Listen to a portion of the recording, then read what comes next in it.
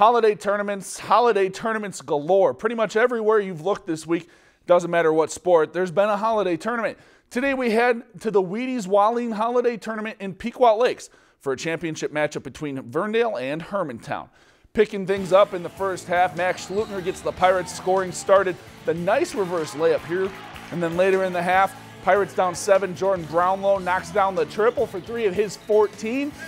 And then still trailing, Luke Weniger gets the kind bounce to cut the Hawks lead to three. And the next possession, three ball, corner pocket for Schlutner. He brings the Pirates within two. He had a team high 20, but Nate Sumas would be too much. He led all scorers with 21. Hermantown led by two at the half, and they roll 81 73 over Verndale. If you've enjoyed this segment of Lakeland News, please consider making a tax deductible contribution to Lakeland Public Television.